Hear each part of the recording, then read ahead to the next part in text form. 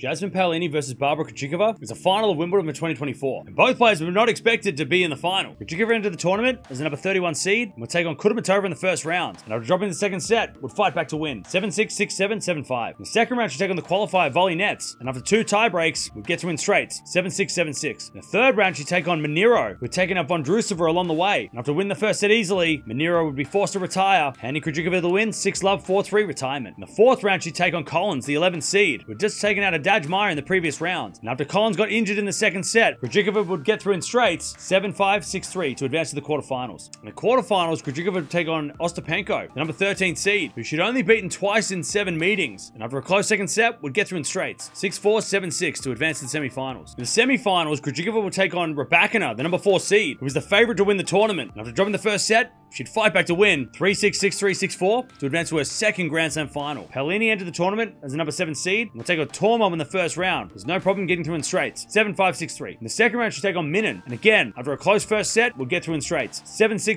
6-2. Third round, she'd take on Andreescu, who had actually had a pretty good grass court season to this stage. And again, a close first set, but getting through in straights. 7-6, 6-1. In the fourth round, she'd take on Keys, the number 12 seed, who's a very dangerous player on the grass. And after splitting the first two sets and 5 all in the third, Keys would get injured and have to retire with the score at 6-3, 6-7, 5 all retirement in favor of Paolini to make the quarterfinals. In the quarterfinals, Paolini would take on Navarro, the number 19 seed, who she had lost all three previous meetings to. But Paolini was on fire, winning in less than an hour, 6-2, 6-1 to advance to the semifinals. In the semifinals, Paolini would take on Vekic, the only unseeded semifinalist in the draw, and this was a battle. After dropping the first set, she'd fight back to win 2-6, 6-4, 7-6 to advance to another Grand Slam final. These two have only played the one time before. That was back in Australia in 2018 in the qualifying. So these two players weren't that expected to be that good back then. I mean, Krejcikova played a lot of doubles before she eventually came onto the scene in singles, but man, it's been such a long time since that's happened, and so much has changed since they did play there last time. If Krejcikova's going to win this one, she's to dictate the rallies and be a little bit more proactive